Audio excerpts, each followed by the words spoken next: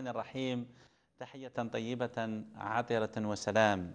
ها هي الأرض التي ارتوت بدم الصحابة الأخيار والفاتحين الأنصار.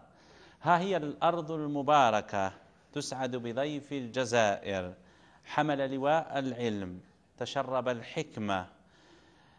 في صنوف العلم صال وجال في صنوف معالجة الغلو والتطرف صال وجال وفي فنون الحوار مع المغالين كتب وقال من أرض نيجيريا نيامي جاءنا حاملا معه سلام الأخوة وعذب المسرات فاستقبلته الأرض الطيبة كما استقبلت أسلافه بالمحبة والإحتفاء حي معي على أرض الجزائر وعلى شاشات التلفزيون الجزائري الدكتور موسى إبراهيم موسى سليمان عضو رابطة علماء وأئمة ودعاة الساحل الأستاذ الجامعي بجامعة التضامن نيامي.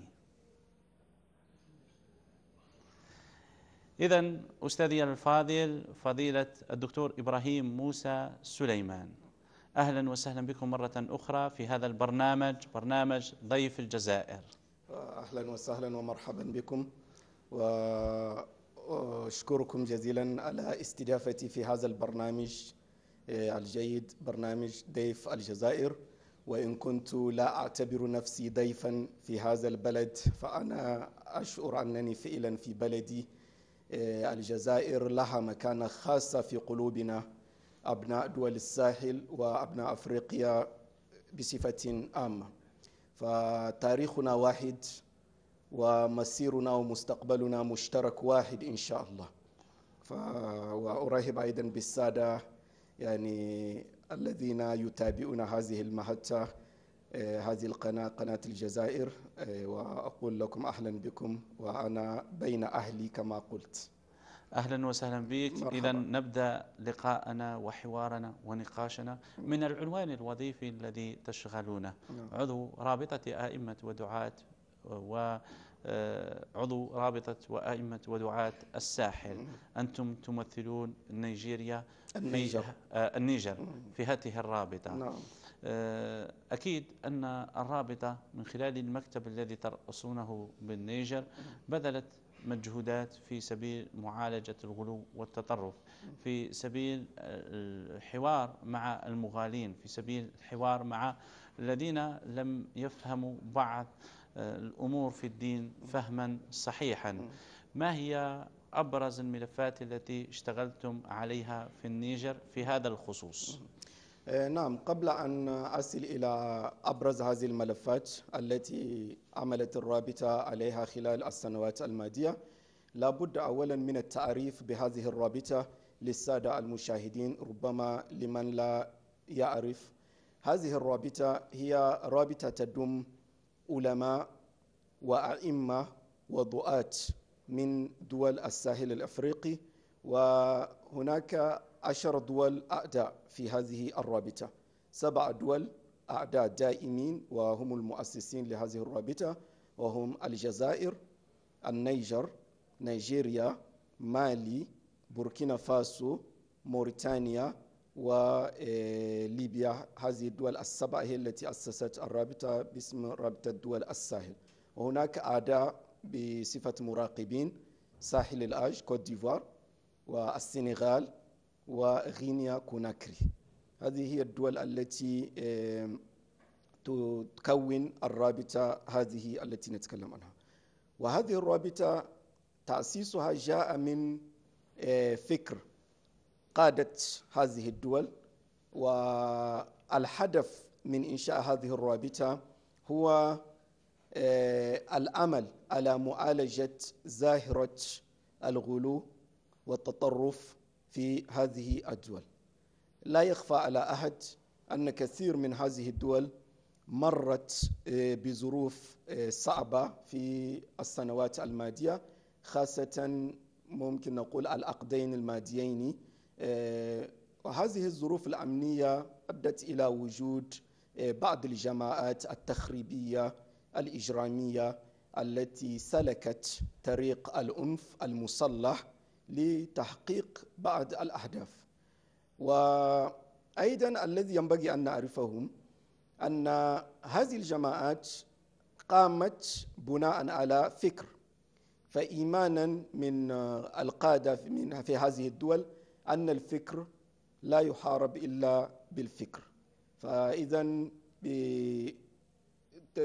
الموازي للإجراءات الأمنية فلا بد من إيجاد آه، قناة أخرى أو وسيلة أخرى وهي للتوئية ووقاية الشباب من الوقوع والانزلاق إلى هذا الطريق آه، الذي يؤدي إلى أن المجتمعات كلها تدفع الثمن آه، باهظا وهذا هو الإطار العام أو الفكرة العامة التي أدت إلى تأسيس هذه الرابطة. ومن خلالها إذن الرابطة هدفها الأساسي هو معالجة التطرف والراديكالية. من خلال هذا الهدف الرئيسي نعم.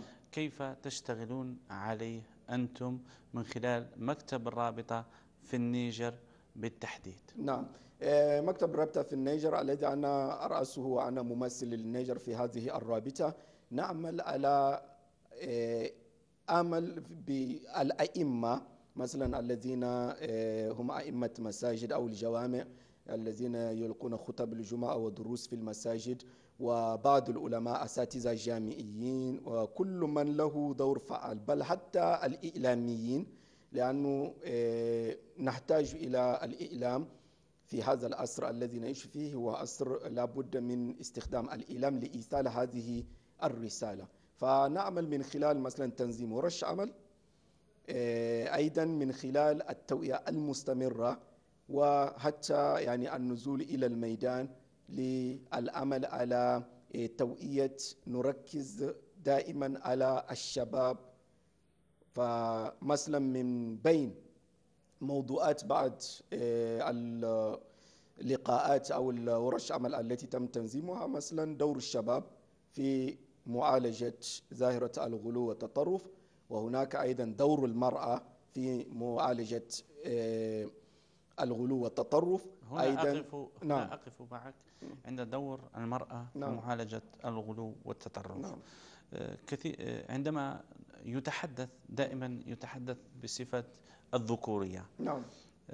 لكن هذا العنوان يشد نعم. دور المرأة في معالجة الغلو والتطرف ربما المشاهد يرغب في الاطلاع على مخرجات هذه الورشة خاصة وأنها تحت عنوان دور المرأة في مجابهة أو في معالجة الغلو والتطرف. نعم. آه هذه الورشة التي وهي فعلا أقيمت بنيامي وكانت بمشاركة آه الرابطة كلها يعني جميع الدول شاركوا فيها وحضر آه، أو شارك في هذه الورشة العديد من المنظمات النسوية التي تعمل في مجال آه، تنمية آه، المرأة وما إلى ذلك. آه، شاركت ومنظمات المجتمع المدني وما إلى ذلك كان بنيامي. والهدف منه أنه في المجتمع كما ذكرتم غالبا ما نركز على الجانب الذكوري وننسى الجانب المهم جدا. يقال دائما أن المرأة نصف المجتمع لكن الحقيقة هي كل المجتمع لأنها هي نصف المجتمع وهي التي تلد النصف الآخر وهي الأم. وأمير الشعراء شوقي رحمه الله يقول الأم مدرسة. إن أعددتها. أعددت شعبا طيب الأعراق.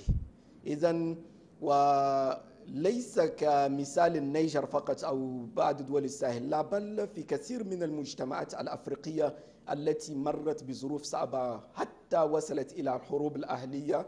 نحن نعرف تماما أن المرأة لعبت دورا كبيرا جدا وإن كان هذا الدور ليس دائما ما يكون ظاهرا لأنه غالبا ما يكون في الخفاء لأنها هي تكون في البيت. فالطفل منذ بداية نشأته أول من يتصل بي ويتألم منه هي الأم. وهل أخذت حقها يعني فعلا من الدراسات والبحوثات في هذه الورشات أو من خلال مجهودكم؟ من خلال هذه الورشة نقول ربما آه، ممكن نقول أنها أخذت حقها. لماذا؟ لأنه آه، حاولنا أن يكون مثلا من بين آه، المحاضرات والمشاركات أن يكون نؤتي أولوية للجانب النسوي. أن يكون كثير منهن هم لا لأنه يعني هم أدرى بمشاكلهن أكثر من غيرهن. فبالتالي يعني يمكن أن نقول بصراحة أن هذا هذه الورشة يعني حققت الغرض منها وخرجت بتوصيات مهمة جدا من بين هذه التوصيات. إذا يعني تعزيز هذا الدور. تعزيز هذا الدور من خلال يعني تقديم الأون لهذه الجمعيات النسوية التي تعمل في هذا المجال كل ما آه، تحتاج إليه. أيضا دعوة حتى السلطات إلى إن كان هناك حتى بعض القوانين التي تحتاج إلى المراجعة وإلى التغيير التي تعزز هذا الدور الذي تلعبه المرأة في المجتمع. وهذه الأمور كما تعرفون هي بناء المجتمع. هذا البناء يأخذ وقت طويل. إلى أين وصلتم في هذا الموضوع؟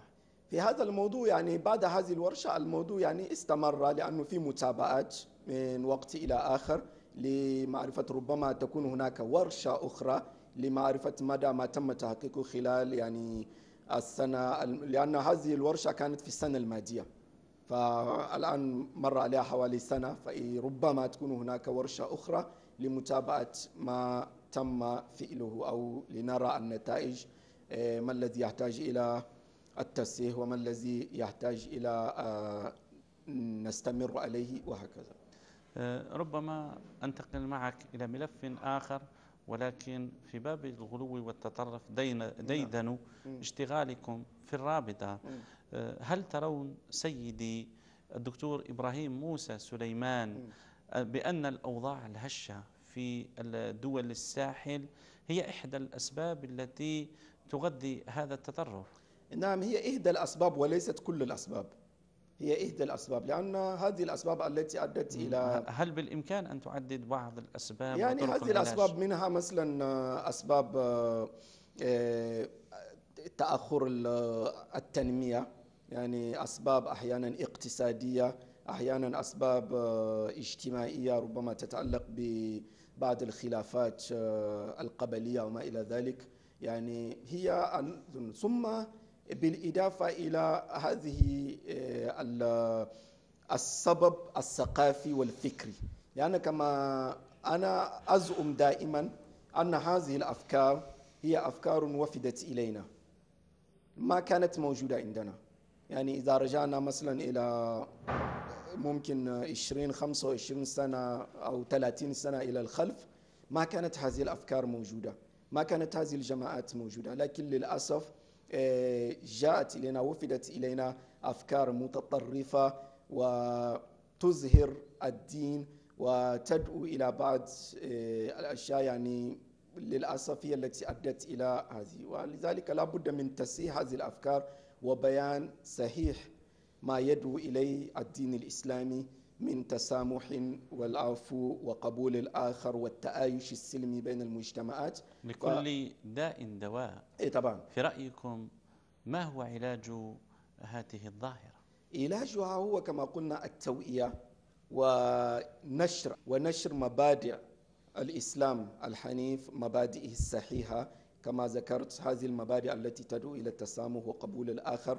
وكيف ندير الاختلاف والخلاف بين هذه المجتمعات لأن الاختلاف وارد أن يكون موجود لأنه نحن نتحدث عن مجتمعات تختلف يعني وتتنوع إرقيا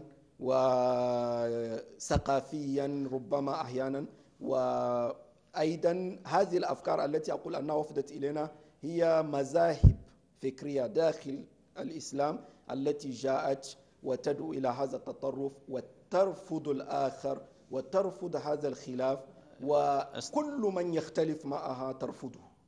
أستسمحك نعم. فضيلة آه، الدكتور إبراهيم موسى سليمان في أن أطرح عليك هذا السؤال. نعم. هل الفراغ الجيوسياسي هل سيسمح بإحياء مشاريع عرقية طائفية أو دينية كما سبق وأن ذكرتم؟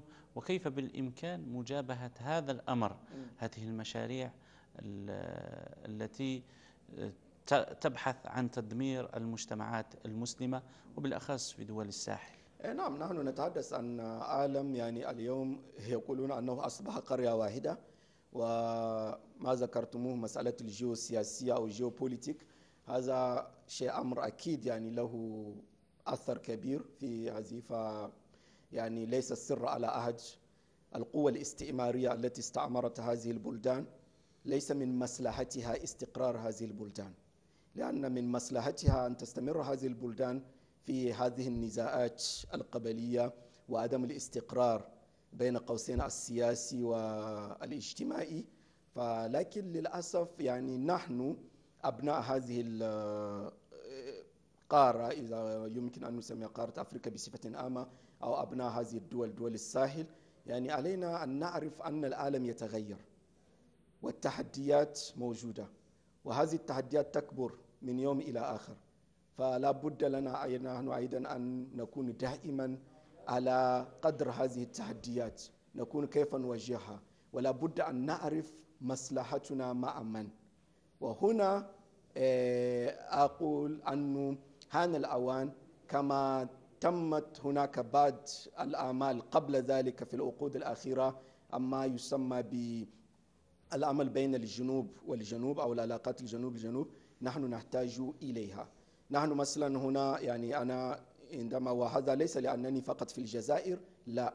أنا أرى أن هناك دول داخل أفريقيا وفي مقدمتها الجزائر بما لها من دور رائد تستطيع أن تلعب دور مهم بل وتلعبه لكن آه، نطلب منها أن تزيد عليه أكثر لأن إذا هذه الدول التي نقول مثل الجزائر إذا لم تقوم بهذا الدور فكأنها تركت هذا الفراغ لمن لهم أطماء في هذه الدول. لكن آه، لذلك حتى يعني رابطة دول آه، علماء الساحل الفكرة كان منشأها هنا الجزائر وأمانتها العامة. أمانتها العامة مقرها في الجزائر الآسمة والحمد لله الأمل يزيد. هذا المؤتمر الذي حضرناه هذه الأيام سلوك الحضاري كل هذه الأمور يعني شارك فيها عدد كثير من الدول آه، في أفريقيا وفي غير أفريقيا. ف... وهل نستطيع أن نقول بأن كل هذا هو من أجل التصدي لهذا الخطر القادم وإفشال خطط الآخر فيما يخص إحياء العرقيات والإثنيات ودس الدسائس فيما يخص المصطلحات التي آه، يلعب بها وضبطت من قبل الرابطة. أي نعم نعم نعم. هذه هي يعني لأن آه، إن لم نفعلها إن لم نقوم بهذه الأعمال فعلا سنترك المجال للآخر وهو أصلا موجود على الأرض ويعمل ليل نهار. ألا كما قلت ألا يكون هناك استقرار لكن علينا نحن خاصة يعني كنخبة كعلماء ككل من له يعني آه، ما يقدمه في الميدان ألا نيأس ونستمر في هذا العمل وبإذن الله نحن عندنا أمل بأن المستقبل سيكون مشرقا إن شاء الله. لأن هذه الشعوب بدأت تفيق من هذا النوم العميق الذي كانت فيه وبدأت تدرك كما قلت آه، من مصلحتها معه. فهنا نقول ربما هي بداية الطريق. فإن شاء الله المستقبل سيكون مشرق ونستمر في هذا الشعب واعي جدا. أكثر مما نتصور. أكثر مما نتصور. بسم الله ما شاء الله. نعم. آه، فضيلة الدكتور إبراهيم موسى سليمان. كل هذه المعطيات التي تفضلتم بها فيما يخص آه، علاج التطرف. دعني أنتقل معك إلى شق التعاون وإلى شق آه، قرارات التي اتخذها رئيس الجمهورية فيما يخص ضخ مبلغ من المساعدات في الوكالة الإفريقية. كيف تلقيتموه؟ أنتم في النيجر وغيرها من أحبابكم في مختلف دول القارة السمراء. نعم تلقيناه بسرور ولكن ما تفاجأنا لأن هذه هي الجزائر التي نعرفها التي نعرفها منذ الصغر. يعني هذه هي الجزائر التي يعني الجزائر المقاومة جزائر التي وقفت دائما مع أشقائها. في القارة الأفريقية. فالحمد لله آه، بفضله الرؤية الواضحة جدا لقيادة هذه البلاد قيادة الجزائر. نرى أن الأمور بدأت فعلا يعني تأخذ يعني منعطفا آخر وكما قلنا يكون يحقق هذا المستقبل المشرق الذي نقوله.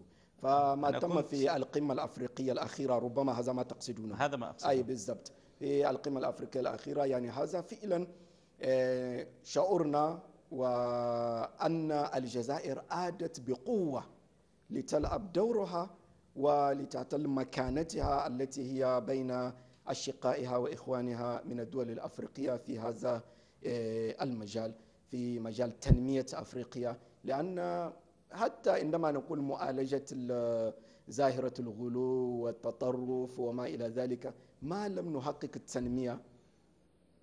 فيبقى الكثير. لأن قلنا من أسباب هناك أسباب اقتصادية كثيرة جدا. من, من عندما نتحدث عن التنمية نعم. نتحدث عن طريق العابر نعم. لطريق العابر ومشروع الألياف البصرية نعم. آه، هذا هذه المشاريع نعم. ربما سيكون لها دور نعم. في معالجة التطرف نعم. والحد من هذه الظاهرة إيه، نعم لأن. هذا شوف يعني إذا أخذت الموقع الجغرافي للجزائر يعني خذ مثل على سبيل المثال عندك النيجر ومالي مثلا النيجر ومالي دولتان حديثتان لا تدلان على البحر. بيننا حدود مع الجزائر. حاليا حدود يعني صحراوية لكن على الرغم ذلك أنا أقول لك وأبشرك أن الآن ادخل في أي alimentation يعني بقالة في نيامي ستجد المواد الغذائية التي تصنع في الجزائر وتأتينا إلى الجزائر هي الأكثر. بسم الله ما شاء الله. هي الأكثر وعلى الرغم أن التاريخ هكذا فإذا في المستقبل القريب لأنه أظن المشروع موجود يعني تم تعبئة هذا الطريق هذا سيكون يعني منطلق. فغير نيجر ومالي ومن بعدها من بوركينا فاسو وغيرها كل هذا سيكون هو الطريق حتى سيرا إلى ما يسمى بالطريق الحرير أو ما يسمونه يعني من الجزائر إلى السينا حتى تقريبا يعني. فهذا أيضا يعني سيكون يعني ربما من آه، المبشرات فمن الأمور التي إن شاء الله ستغير بإذن الله. الواقع. بإذن الله. فضيلة الدكتور إبراهيم موسى سليبان عضو رابطة وأئمة ودعاة الساحل أشكرك على هذه الجلسة الماتعة في هذا اللقاء ضيف الجزائر وأترك لك كلمة ختامية أخيرة للجزائر وللجزائريين. ولأبناء القارة السمراء. وأنا أشكرك جدا أستاذ السيد الفاضل لأن آه، الحمد لله هذا البرنامج يعني انبهرت به وأعجبني جدا وتشرفت بأن أكون ضيفا في هذا البرنامج العديد. كلمتي الأخيرة التي أريد أن أوصلها إلى أبناء القارة بصفة عامة. نقول كما ذكرت آنفا أن التحديات كثيرة جدا وأن العالم يتغير وأن آه، أفريقيا لم تعد أفريقيا التي كانت بعد استقلال لكن هي أفريقيا الآن يعني أصبحت هي يعني مثل الفريسة التي القوة العظمى كلها أو دول العالم تسعى إلى أن تعتبر أفريقيا ميدانا يكون لها يعني السيطرة إليها فعلينا نحن أبناء هذه القارة أن نعرف مصلحتنا ونعرف أن مصلحتنا بيننا كأفارقة. فهنا جدد أيضا طلبي أقول لدولة الجزائر أن للجزائر دور رائد لأنها جزائر إفريقية فهي جزء لا يتجزأ من هذه القارة السمراء الحبيبة. فلها هذا الدور فعليها أن لا تتراجع أبدا لأن تراجعها سيفتح الباب لمن له أطماء وهم غير مرحبين بهم. شكرا. وأشكر هذا الشعب شعب الجزائر الشعب المقاوم الشعب الذي لا يرضى بالدنيا أبدا الشعب الذي يشعر بالعزة وأشكر قيادة هذا الشعب وعلى رأسهم السيد عبد المجيد تبون رئيس الجمهورية حفظه الله. شكرا. وشكرا لكم جميعا. والسلام شكرا عليكم. لك. شكرا لك مشاهد وباسمك لا يفوتني أن أشكر مشاهدينا الكرام. على طيب الإصغاء والمشاهدة كانت إذا هذه جلستنا الماتعة مع أحد ضيوف الجزائر في برنامج ضيف الجزائر. ناقشنا معه ملفات عديدة تتعلق بالتطرف والغلو ومعالجته في دول الساحل انطلاقا من مسماه الوظيفي عضو رابطة وأئمة ودعاة الساحل إلى أن ألقاكم مع ضيف آخر من ضيوف الجزائر. سلام.